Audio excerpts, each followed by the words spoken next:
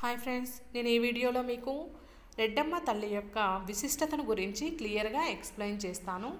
రెడ్డమ్మ తల్లి చిత్తూరు జిల్లా గురంకొండ మండలం చెల్లోపల్ల గ్రామంలో ఉంది.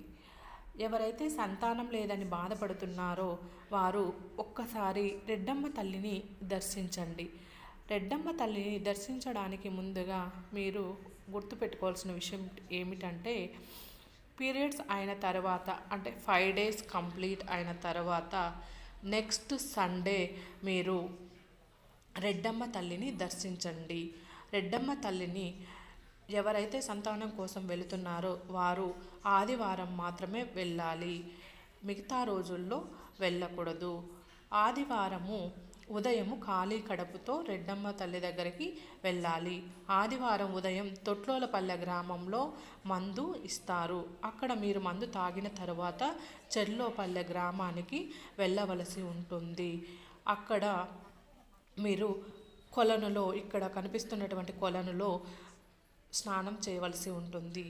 స్నానం చేసిన తర్వాత తడి బట్టలతో మీరు టెంకాయ కర్పూరము పూలు కడ్డీలు అన్ని పూజా సామాగ్రి తీసుకొని మీరు రెడ్డమ్మ గుడి దగ్గరికి వెళ్ళవలసి ఉంటుంది. ఇక్కడ కనిపిస్తున్నటువంటి చెట్టు దగ్గర మీరు వరం ఆడగలిసి ఉంటుంది. మీకు కలలో అమ్మవారు కనిపిస్తే మీకు పిల్లలు కలుగుతారని ఒక నమ్మకం. ఇక్కడికి ఎలా చేరుకోవాలి అంటే మదన్పల్లి నుంచి forty one point one kilometre అంటే మీకు వన్ అవర్ ఎయిటీన్ మినిట్స్ తీసుకుంటుంది. అదేవిధంగా కడప నుంచి అయితే eighty two point five kilometres one hour forty one minutes తీసుకుంటుంది. ఇంకా ఏవైనా వివరాలు కావాలంటే మీరు కామెంట్స్ రూపంలో తెలియచేయండి. నేను మీకు రిప్లై ఇస్తాను. ఇది నా ఫస్ట్ వీడియో అండి. మీకు నచ్చినట్టయితే మీరు లైక్ చేయండి షేర్ చేయండి సబ్స్క్రైబ్ చేయండి.